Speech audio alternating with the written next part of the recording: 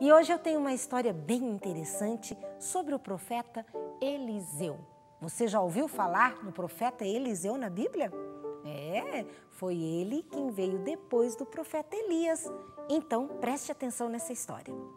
O rei estava muito furioso, o rei da Síria. Ele estava furioso, sabe por quê?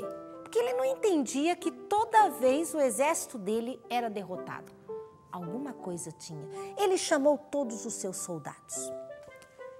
Ah, ele falou assim: venham todos aqui, quero conversar com vocês. Hum, tava bravo, tava nervoso, nervoso demais. E ele chamou todos os seus soldados ali os seus empregados. Eu não entendo por que, que está acontecendo isso. Nós tomos, toda vez nós somos derrotados. Eu acho que tem algum espião aqui dentro. Todos ficaram apavorados. Será que realmente tinha um espião lá dentro? De repente, um dos soldados veio falar com o rei e falou o seguinte: Eu creio, não tem espião aqui dentro, não, rei. Sabe o que está acontecendo, rei? É o profeta Eliseu ele não é espião, ele é um profeta. Mas sabia que ele sabe de tudo o que vai acontecer e também sabe até o que o Senhor fala e também o que acontece dentro do quarto do Senhor. O profeta Eliseu sabe de tudo. Hum, aí o rei ficou tão furioso com Eliseu. Ele falou assim: Soldados, se preparem. Quero que vocês agora ataquem o povo de Israel. Quero que vocês vão até lá peguem o profeta Eliseu. E foi todo aquele exército de soldados e eles se agruparam direitinho, se alinharam bonitinho para marchar até a casa de Eliseu. Quando chegaram à casa de Eliseu, Eliseu lá estava tranquilo na sua casa. E ele também tinha um empregado. O empregado dele se chamava Gease. E os dois estavam lá quando amanheceu o dia, Gease saiu lá para fora. E quando ele saiu de manhã, o que, que ele viu lá fora? Ele viu o exército de homens, de inimigos ali para atacarem o povo de Israel. Geazi ficou tremendo, tremendo, tremendo de medo, ficou tremendo. Falou: e agora o que, que nós vamos fazer? Ele correu até o profeta Eliseu e falou: Profeta Eliseu, o senhor nem imagina o que está acontecendo. O que foi, garoto? O que, que foi?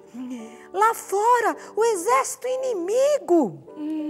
Ele ficou desesperado, coitadinho.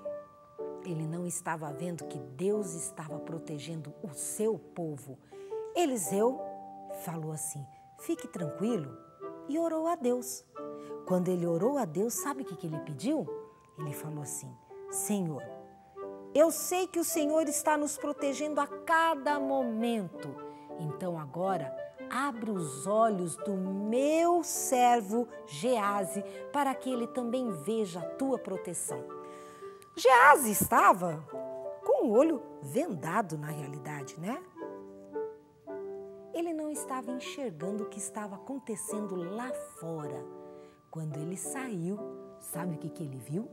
Seus olhos foram abertos a pedido de Eliseu para Deus. Seus olhos foram abertos e olha só o que ele viu lá fora. Ele viu um guarda-chuva? Não! Ele viu um exército de anjos lá fora cuidando, protegendo todo o povo de Israel. Ele olhou, uau, o que eu estou vendo, quantos anjos estão nos protegendo.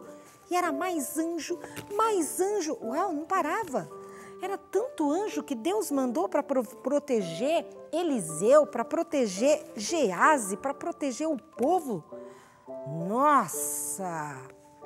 Olha só quantos anjos estavam trabalhando por Eliseu e Gease, pelo povo de Israel.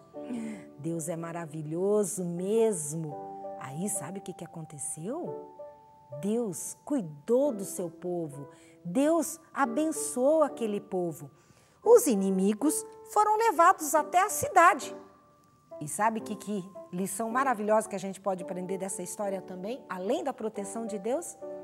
Eliseu pediu que o rei não matasse os inimigos, que desse de comer para eles, que desse um jantar, uma, um almoço, uma refeição bem gostosa para todos aqueles inimigos. E depois, no dia seguinte, todos voltaram para a Síria e vivos. E sabe o que aconteceu também? Depois disso, nunca mais aconteceu guerra entre esse povo. Que maravilha, né? Deus sabe direitinho o momento certo de cada coisa. Ele envia os seus anjos para cuidarem de mim e de você. Que proteção maravilhosa, não é verdade? Que Deus te abençoe a cada dia e que você não se esqueça desse anjo maravilhoso que também está cuidando de você. Um bom sábado e te encontro no próximo programa. Tchau, tchau.